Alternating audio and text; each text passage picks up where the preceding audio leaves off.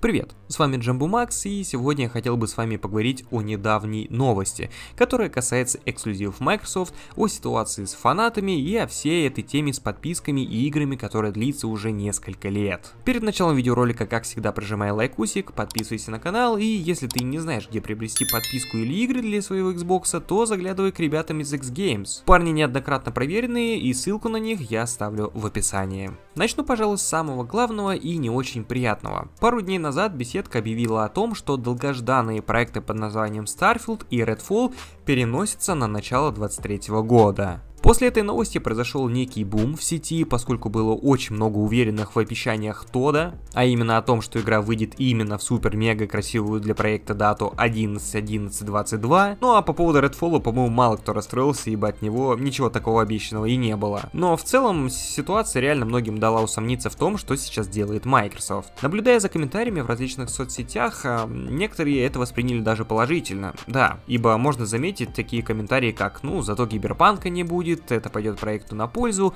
лучше уж перенести, чем выпустить недоделанный продукт. И в целом я согласен а, с такими комментариями, ибо я тоже не хочу получать сырые проекты, а, в которых всякие баги, лаги и тому подобные вещи, особенно тогда, когда они мешают насладиться виртуальным миром и из-за которых ты сталкиваешься с проблемами именно в миссии, что ты не можешь пройти какую-нибудь там главу или что-нибудь такое. Но на эту ситуацию нужно смотреть чуть шире. Дело в том, что в конце прошлого года сам тот Говард а, нам втирал, что игра уже готова, готова, ее можно пройти от начала до конца. Но самое главное было в том, что он уверен был в том, что игра выйдет в ноябре 22 года. Проблем на самом деле бы не было, если бы это были лишь его слова без какой-то конкретной даты, но они ее поставили и выбрали непростую дату, тем самым уверили игроков, что она точно должна выйти. Ведь верующие в эту всю фигню доказывали всем до в комментариях, что ну невозможно такого, чтобы они опрокинули эту замечательную дату.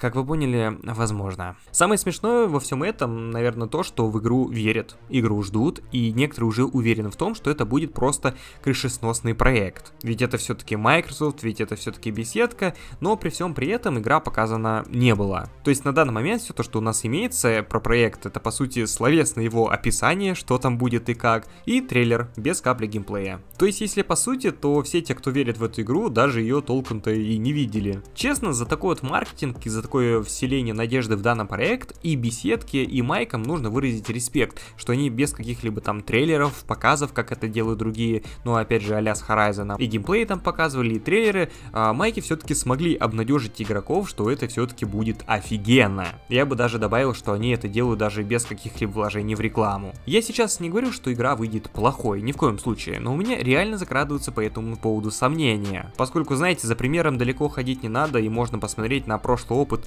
супер-мега крутых проектов под крылом Microsoft, а-ля Halo Infinite. Ну и в принципе можно понять, что их слова про амбициозность, про масштабность и прочие такие красивые громкие слова, они не всегда подтверждаются делом. Нет, ну реально, вспомните Halo и рассказы о том, что там новый амбициозный движок, который, кстати, оказывается, не был показан в первом трейлере, и он был вообще был выполнен на, на аутсорсе. Про их супер-мега батл пасс и поддержку игры в течение 10 лет, только вот почему-то за все это время существования игры они все еще не могут допилить кооператив, и еле как сделали второй сезон, который мало кому зашел.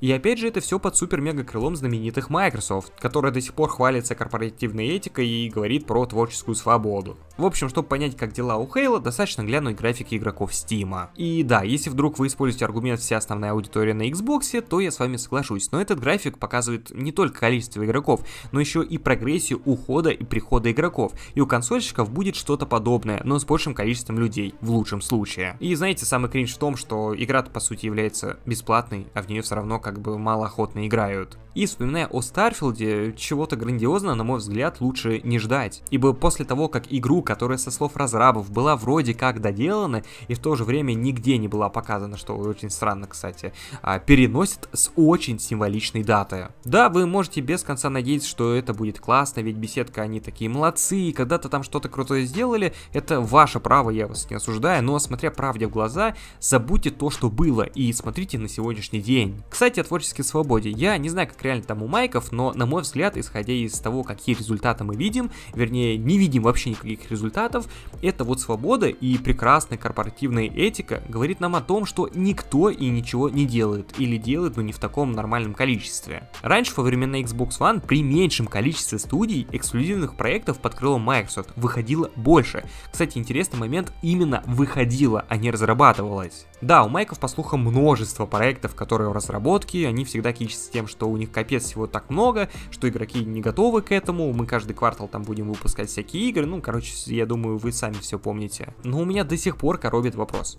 Когда это? Неужто опять же нужно потерпеть? Напомню, как это было с 2019 года. Ребят, да, 2019 год был не особо классным в плане игр, но 2020 год будет просто отличным. Ребят, да, 2020 год был тоже, наверное, не особо классным в плане игр, но 2021 год обещает точно быть офигенным, ведь все-таки новое поколение, все дела, Next Gen. Ну, сами понимаете, 21 год это всего лишь начало новых консолей, там был ковид, еще что-то, но, короче, 22 обещает быть точно насыщенным, Starfield, Stalker 2 и так далее. Ну и сейчас вы знаете какой год и как думаете, какой год будет насыщенным. И знаете, это может по сути длиться бесконечно, но самое забавное, что несмотря на стратегию Game Pass а, которая подразумевает эксклюзивные проекты в дату релиза, этих проектов по сути мы не получаем в намеченный срок. И те, кто кичился в 2021 году, кстати, я помню таких ребят, что там Xbox получит Stalker 2, Starfield, Redfall и так далее, и типа, ух, что нас ждет впереди, где это?